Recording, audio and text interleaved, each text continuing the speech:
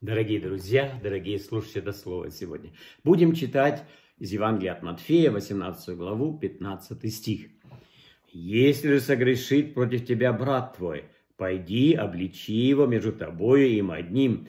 Если послушает тебя, ты обрел брата своего». Да, вот такое слово Иисус говорит, ему важно, чтобы люди между собой мирились, чтобы они находили общий язык, даже если согрешит против тебя брат. Не просто скажет какое-то словечко или что-то такое необдуманное.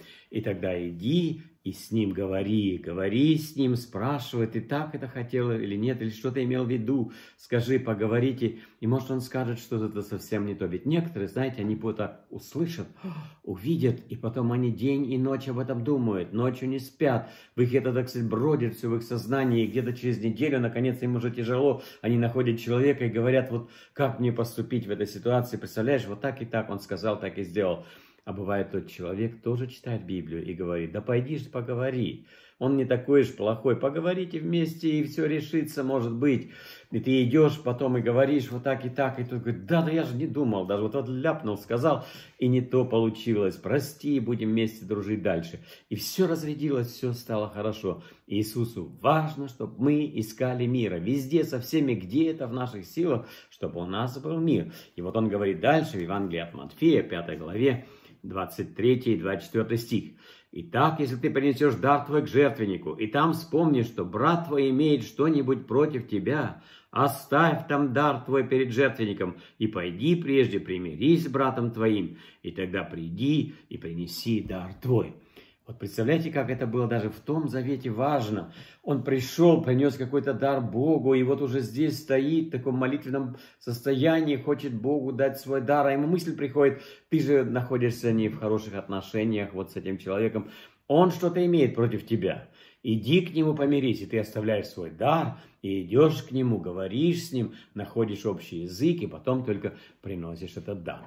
Да, вот так Иисус дает прямо указание, как надо поступать. Поэтому читать нужно внимательно, исследовать Слово Божьему. Много-много мы всякого зла избежим.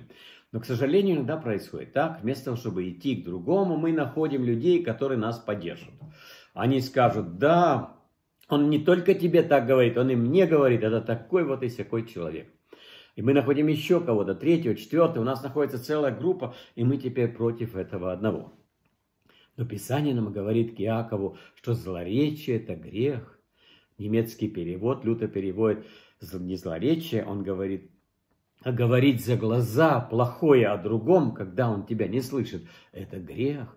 То есть мы должны не к другим говорить, а прийти и с этим человеком поговорить и сказать, вот это я вижу, это неправильно ты поступил. Или объясни мне как. Но бывает так, что человек не хочет с тобой говорить, и там что-то, и все, и ты ходишь домой, ты попытку сделал, а дома ты вспоминаешь, что ты сам был поводом, и когда-то в своей жизни ты сам говорил с ним вот не по-доброму, и он вспомнил, даже, может быть, не осознанно, а подсознательно вот так вот к тебе. И ты приходишь тогда к нему и говоришь, прости, вот знаешь, вот тогда-то я был неправ, давай будем все по-хорошему. И смотришь, разрядилась ситуация. Что делать, если она не разряжается и после всех этих шагов?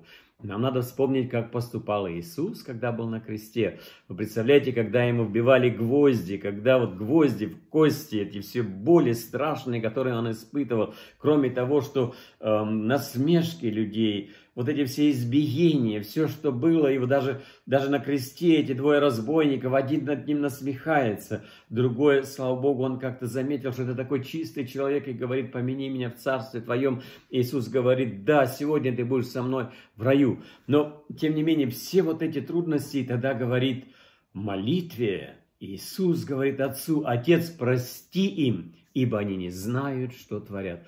Почему он так сказал? Вы знаете, ведь он любил людей. Иисус – это сама любовь вот, ну, в таком облике человеческом, Божьем. Он, так сказать, молился, потому что он знал, если эти люди вечно будут страдать из-за того, что они сейчас делают. Поэтому он просит, по крайней мере, этот грех, Господь, прости им, Отец, прости им. Ведь это так важно, чтобы человек, пока живет, нашел мир с Богом, чтобы он с Ним примирился, чтобы он с людьми примирился. Ведь наша главная заповедь говорит, возлюби Бога всей силой, всей крепостью, всем разумением своими, ближнего, как самого себя. Бога любить и людей, которые с нами любить. И все, что от нас зависит, делать, чтобы был мир, ибо мир, он превыше всякого разумения. И чтобы он соблюдал наши сердца, тогда нам легко молиться, тогда нам легко смотреть в глаза всем людям. Это так важно, поэтому Иисус несколько раз говорит, вот так и так поступайте, пожалуйста, проверяйте себя вечером. Может быть, где-то ты сам сказал так, что обидел человека и не порешил этот вопрос, не нашел способа, и видишь, он на тебя как-то косо смотрит, тогда ты сам иди и помоги, так сказать, человеку тоже примириться, если у него нет мужества, и сказать, я не так думал, ну вот мы с тобой столько прошли уже, давай вместе дальше, будем любить друг друга вместе, молиться, переживать, чтобы Царство Божие продвигалось, потому что речь в Царстве Божьем о Боге, а не о нас, а нам надо учиться прощать, любить и жить для Господа. Пусть Господь вас благословит в этот прекрасный день.